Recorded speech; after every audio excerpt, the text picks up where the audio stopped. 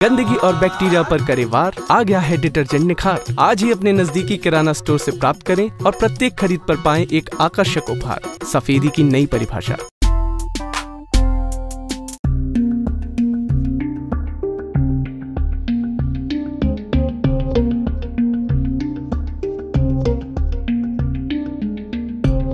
कहते हैं कि बेटियाँ बेटों से कम नहीं होती, जो लगातार अपने आप को साबित भी कर रही हैं। ऐसी ही एक बेटी है जो एक नया विश्व कीर्तिमान बनाने साइकिल से यात्रा कर रही है।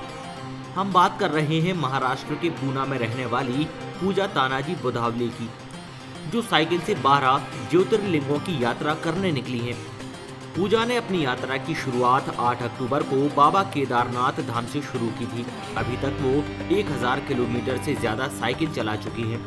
साइकिल से ही बाबा महाकाल धाम उज्जैन जाते समय पूजा सागर के राहतगढ़ पहुँची थी, जहाँ पर उन्होंने राहतगढ़ के प्रसिद्ध बाबा विश्वनाथ और मुक्ति धाम में स्थित भूतेश्वर बाबा के दर्शन किए इस दौरान नगरवासियों ने पूजा का स्वागत कर उत्साहवर्धन किया सागर टीवी न्यूज़ से बात करते हुए पूजा ने बताया कि वो पहली लड़की होंगी जो साइकिल से 12 ज्योतिर्लिंगों के दर्शन कर रिकॉर्ड बनाने जा रही हैं। इससे पहले किसी भी लड़की ने ये कारनामा करके नहीं दिखाया। उनकी ये यात्रा 8000 किलोमीटर की है, जो करीब दो महीने में पूरी होगी।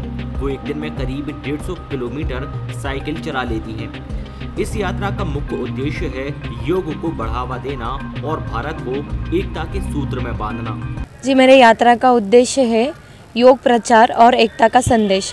मेरा स्लोगन ही है कि योग मेरा कर्म है और एकता मेरा धर्म है। और ये यात्रा मैंने 8 अक्टूबर से केदारनाथ से शुरुआत की थी और अभी तक मैं मतलब आज मैं विदिशा पहुँचने वाली हूँ। तो ऐसे करके मेरा पूरा 1700 किलोमीटर का जो सफ़र है वो पूरा हो चुका है और आगे मुझे रामेश्वरम तक मतलब तमिलनाडु के रामेश्वरम तक मेरी राइड कंप्लीट होगी। तो ये पूरी राइड दो महीने में पूरी हो जाएगी। कितना ज्योतिर्लिंग का उद्देश्य करने का? जो बारह ज्योतिर्लिंग हमारे भारत में है वो सारे हम करके दर्शन लेके आगे बढ़ते रहेंगे। अलग अलग स्टेट से अलग अलग लोगों से मिलते रहेंगे। विविध विविधता में एकता है ये हम अब खुद देखने वाले हैं। प्रतिदिन साइकिल चलाने का लक्ष्य क्या है? कितने किलोमीटर चलाती है? जी प्रतिदिन हम सौ से डेढ़ सौ किलोमीटर तक चलाते हैं। अभी हमारा हाईएस्ट 160 किलोमीटर का था जो लखनऊ से हमने वाराणसी तक साइकिलिंग किया है। रास्ते में कोई समस्या आती होगी? जी अ, ऐसी ज़्यादा समस्या नहीं आई है। बस केदारनाथ में थोड़ी बारिश थी तो उसकी वजह से थोड़ा साइकिल में प्रॉब्लम हो चुका था।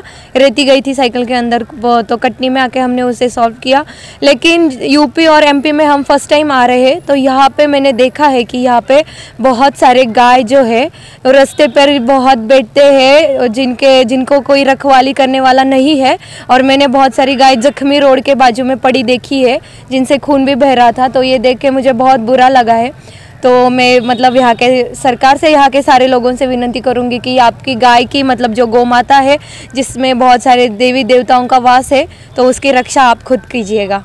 इसके पहले भी कोई साइकिल यात्रा की है क्या आपने? जी मैंने बारह ज्योतिर्लिंग से पहले कश्मीर से कन्याकुमारी साइकिल यात्रा की है जो मैंने जम्मू से शुरुआत की थी कन्याकुमारी तक। तो वो पच्चीस मतलब पैंतीस दिन में मैंने चार हज़ार किलोमीटर पूरे किए थे और उसमें हमने बेटी बचाओ बेटी पढ़ाओ और पोल्यूशन फ्री इंडिया ये मैसेज दिए थे। साइकिल उद्देश्य क्या? वर्ल्ड रिकॉर्ड नाम दर्ज कराने का है क्या? हाँ जी जो बारह ज्योतिर्लिंग की साइकिल यात्रा है वो अभी तक भारत के किसी लड़की ने नहीं की है। तो मैं भारत की पहली बेटी बनने वाली हूँ। इसलिए मैंने ये यात्रा इंडिया बुक ऑफ़ रिकॉर्ड में दर्ज की है। जब मेरी यात्रा पूरी होगी तो इंडिया बुक ऑफ़ रिकॉर्ड को मेरा कितने कितने ज्योतिर्लिंग हुए? दो ज्योतिर्लिंग हो गए केदारनाथ और काशी विश्वनाथ। विश्वनाथ अब मैं एमपी में हूँ तो उज्जैन और महाकालेश्वर महाकालेश्वर और ओमकारेश्वर का दर्शन लेके आगे बढ़ूँगी। लक्ष्य कितने किलोमीटर चलने का जी मैं सौ से डेढ़ सौ किलोमीटर प्रतिदिन चलती हूँ और अ, हर रोज़ इतना साइकिलिंग में करती हूँ। ये टोटल कितना कितना रन रहेगा? आठ हज़ार किलोमीटर की ये यात्रा मैंने इंडिया बुक ऑफ़ रिकॉर्ड के को भी दर्ज की है। अभी कितना दर्शन कर लिया अभी? दो केदारनाथ और काशी विश्वनाथ। आपने ये उद्देश्य क्यों बनाया कि मुझे मतलब इस यात्रा करनी है? कोई खास जी योग के लिए और एकता का संदेश लेके मैं ये चल रही हूँ। तो योग का मुझे प्रचार करना था। सारे भारत के यूथ को मुझे बताना है कि योग में बहुत पावर है आप कीजिए और फिट रहिए। और एकता इसलिए कि योग सिर्फ़ हिंदू लोगों का नहीं है और हमने सबको मिलजुल के रहना है। सारे जाति धर्म के लोग योग कर सकते हैं। आपसे पहले किसी ने यात्रा की है जी भारत में किसी लड़की ने बारह ज्योतिर्लिंग की यात्रा नहीं की है। तो मैं यात्रा पूरी होने के बाद पहली भारत की बेटी बनने वाली हूँ।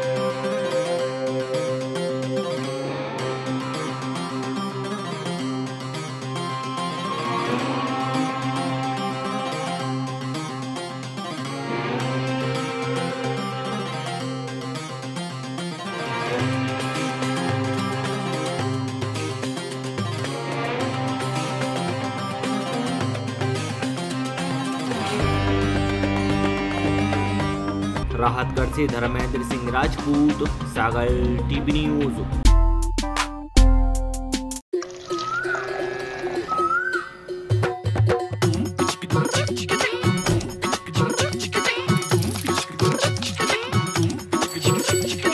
हल्लू भैया चले बाज़ार।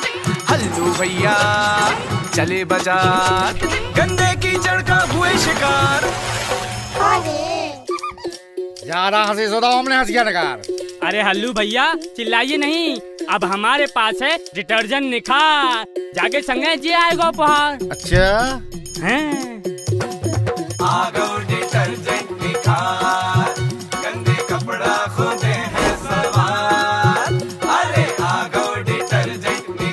गंदगी और बैक्टीरिया पर करे वार, आ गया है डिटर्जेंट निखार। आज ही अपने नजदीकी किराना स्टोर से प्राप्त करें और प्रत्येक खरीद पर पाएँ एक आकर्षक उपहार। मीनाक्षी डिटर्जेंट्स का निखार डिटर्जेंट पाउडर, सफेदी की नई परिभाषा।